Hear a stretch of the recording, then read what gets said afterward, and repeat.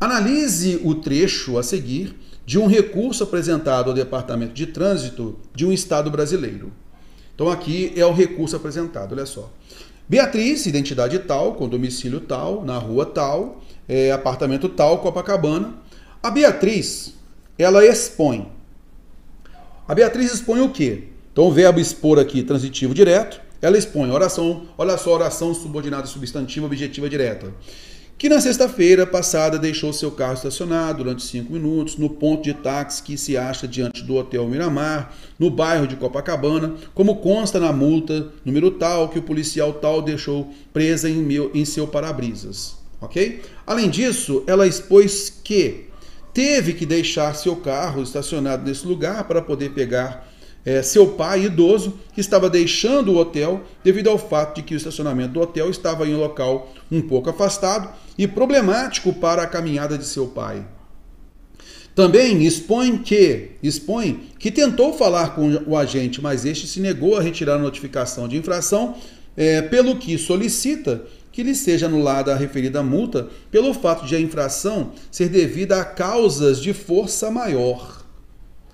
Bom, Causas de força maior. Qual seria então essa força maior? Ah, porque ele é um idoso. E aí ela, ela tentou ficar mais próximo do idoso. Mas isso é força maior? Qual é a condição do idoso que ele não poderia andar um pouquinho mais? E aí, inclusive, é o seguinte: ela falou que tem um estacionamento próprio do, do hotel. Veja, o idoso não está saindo de uma de um, de uma de um, de um hospital, ele está saindo de um hotel. Então ele poderia caminhar até o local do hotel tranquilamente, sem problema nenhum. Então veja aqui nesse caso que ela fala causas de força maior. Mas que causas de força maior é essa? Concorda comigo?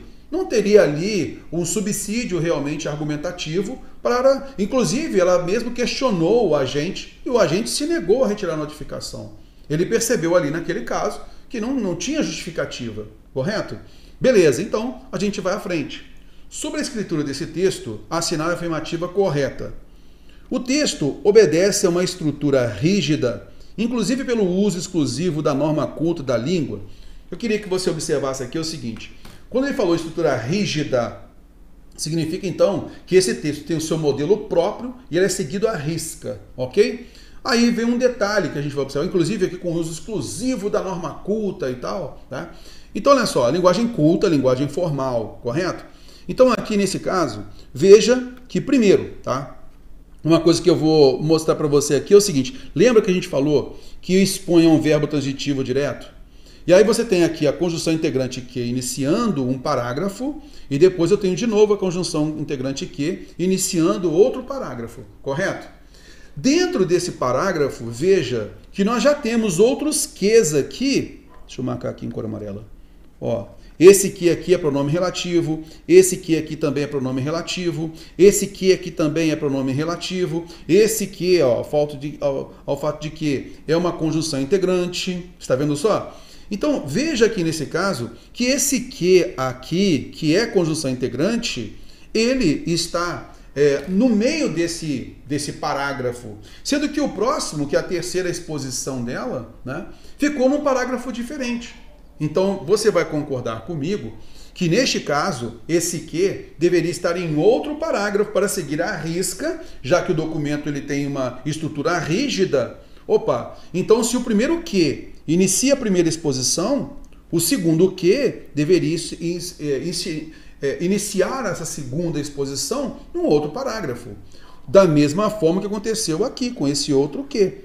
Ou ou se coloca tudo num só parágrafo com esse Q maiúsculo, tudo em letra, é, é, letra de forma, né, letra maior, né? Mas toda letra maiúscula. Ou então se coloca cada parágrafo para ele. Tudo bem? Aí você vai seguir uma estrutura rígida.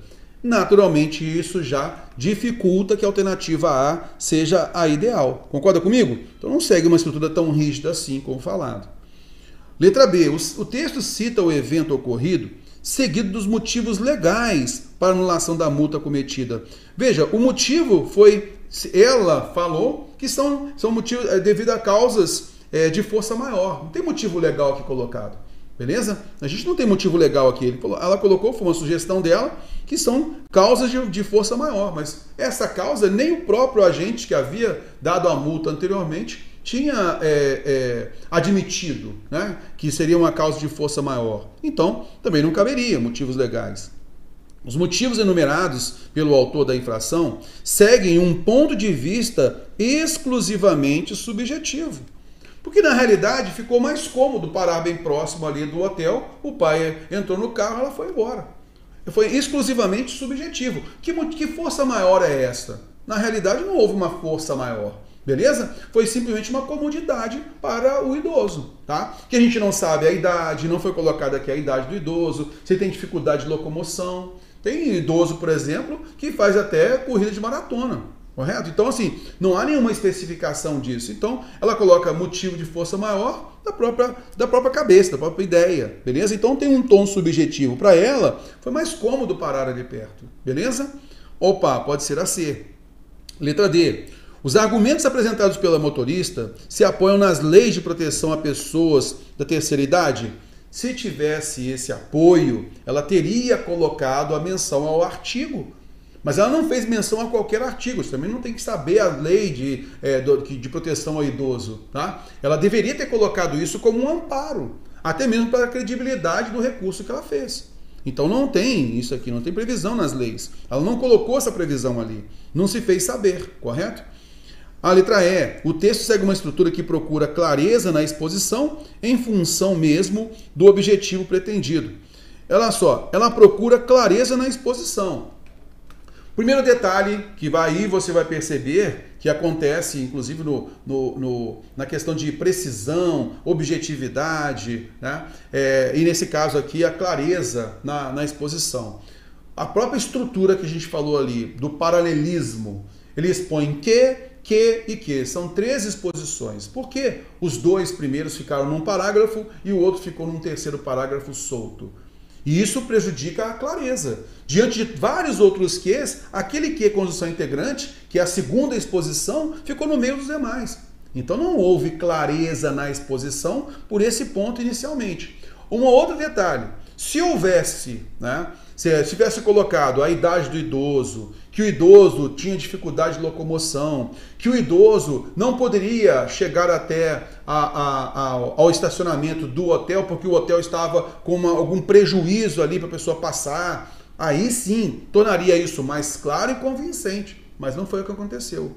O ponto-chave aí é a segunda exposição, está no mesmo parágrafo. Por isso, essa ideia da clareza não cabe, beleza?